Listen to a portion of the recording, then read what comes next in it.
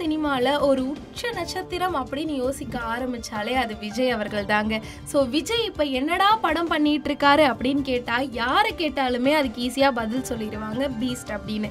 ஆமாங்க பீஸ்ட் படத்தை நெல்சன் அவர்களோட இணைந்து விஜய் அவர்கள் பண்ணிகிட்டு இருக்காங்க இது குறித்த ஒரு பிக்கை ரீசெண்டாக நம்ம நெல்சன் அவர்கள் ட்விட்டரில் போட்டார். அதில் hundred days with days amazing people அப்படின்னும் போட்டார்.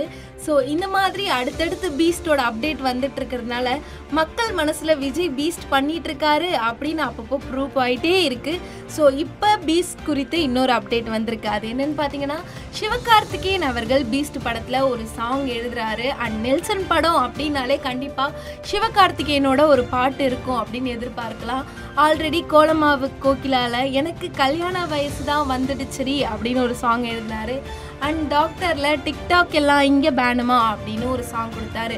ஸோ அதே மாதிரி இப்போது பீஸ்ட்லேயும் ஒரு சாங் கொடுப்பாரு அப்படின்னு எதிர்பார்க்கப்படுது. அண்ட் அது மட்டும் இல்லாமல் இந்த பாட்டில் இந்த லைன் வரும் அப்படின்ற அளவுக்கு ஒரு அப்டேட் வந்திருக்கு. என்னன்னு பார்த்தீங்கன்னா நைன்டிஸ் கிட்ஸ் அப்படின்னு ஒரு வார்த்தையை வச்சு அந்த பாட்டு ஸ்டார்ட் ஆகும் அப்படின்னு எதிர்பார்க்கப்படுது.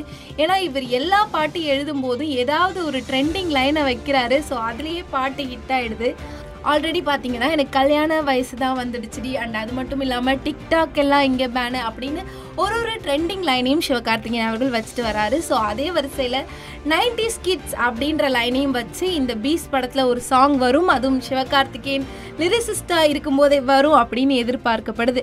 ஸோ எல்லாருமே அனிருத் மியூசிக்கில் சிவகார்த்திகேயன் லைன்ஸில் விஜய் அவர்களோட ஆக்டிங்கை எதிர்பார்த்து காத்துட்ருக்காங்க.